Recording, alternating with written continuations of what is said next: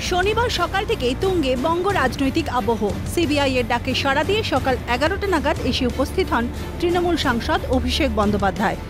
সকাল থেকে দুপুর এবং তারপর দুপুর গড়িয়ে সন্ধে। রাত নটা উনচল্লিশ মিনিট নিজাম প্যালেস থেকে বেরিয়ে আসেন তিনি। বেরিয়ে এসেই দাবি করেন, নবজোয়ার আটকাতে আমাকে ডেকে পাঠানো হয়েছে। জেরা নির্যাস শূন্য। একটি অশ্বডিম্ব বেরিয়েছে। বারবার বলেছি, সোজা ফাঁসির মঞ্চে নিয়ে চলুন। প্রথম দিন থেকে এদের টার্গেট হচ্ছে অভিষেক বন্দ্যোপাধ্যায় এবং কি করে আমাকে ইডি সিবিআই দিয়ে ধমকে, চমকে দমিয়ে রাখা যায়। এবং তার কারণে আপনারা দেখেছেন এই যে তৃণমূলে নবজোয়ার কর্মসূচি আমরা শুরু করেছি। এই নবজোয়ার কর্মসূচি যে ছবি রাস্তায় কাতারে কাতারে, রাস্তার দুধারে দাঁড়িয়ে রয়েছে, এই ছবিগুলো ভারতীয় জনতা পার্টির হজম হচ্ছে না। সেই কারণে এই ষাট দিনের কর্মসূচিকে কি করে বাধাপ্রাপ্ত করা যায়? আমি প্রথমেই বলি, তার নির্যাস হচ্ছে শূন্য। যারা জিজ্ঞাসাবাদ করেছে, তাদের সময় নষ্ট, আমারও সময় নষ্ট। নির্যাস হচ্ছে একটা আস্ত হস্যডিম্ব আর জিজ্ঞাসাবাদ করার কোনো প্রয়োজন নেই। সরাসরি একটা ফাঁসির মঞ্চ করা হোক, আমি সেখানে গিয়ে মৃত্যুবরণ করব। অভিষেকের এই মন্তব্য নিয়ে কটাক্ষ করতে ছাড়েননি বিরোধীরা। বিজেপি মুখপাত্র শ্রমিক ভট্টাচার্যের আক্রমণ। ফাঁসির মঞ্চে যদি যাবেন তাহলে একই সঙ্গে বারবার কোর্টের দ্বারস্থ কেন হচ্ছেন?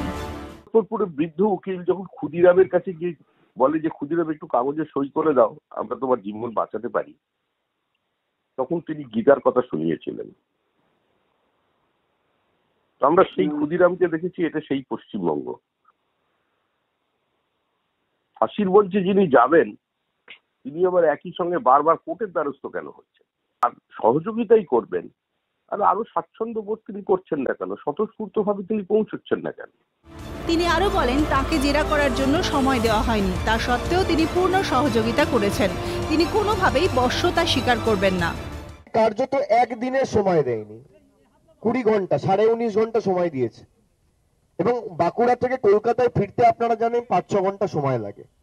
আমি এটুকু আশা করেছিলাম যে অন্যদের মতো আমাকে অ্যাটলিস্ট আটচল্লিশ ঘণ্টা, বাহাত্তর ঘণ্টা নোটিশে আমাকে ডাকবে। আপনি শুক্রবার নোটিশ দিয়ে সোমবার ডাকতেন।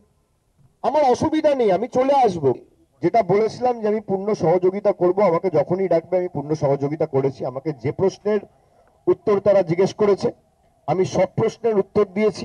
আমি বশ্যতা স্বীকার করিনি বলে আমার বিরুদ্ধে ইডি সিবিআই লাগানো। আমি যদি আজকে বিজেপি করতাম আমি দোয়া তুলসী পাতা হয়ে যেতাম। কিন্তু আমি দিল্লির পোষা কুকুর হয়ে থাকব না। তার থেকে রয়্যাল বেঙ্গল টাইগার হয়ে মাথা উঁচু করে মরা ভালো। আমি সেই কারণে মাথা উঁচু করে বাঁচার লোক এবং সেখানে আমাকে যতবার ডেকেছে আমি ততবার এসেছি। এত আত্মবিশ্বাস থাকলে বারবার আদালতে দৌড়চ্ছিলেন কেন? প্রশ্ন তুলেছে সিপিএম শিবির। কাছে এতই যদি সময় নষ্ট হয় উনি কোর্টে গিয়ে কোর্টের সময় নষ্ট করছিলেন কেন? যখন জানেন যে সময় নষ্ট করার জন্য করছে তাহলে নিজের সময় নষ্ট করাটা ঠেকাতে পারলেন না কোর্টের সময় নষ্ট করলেন কেন?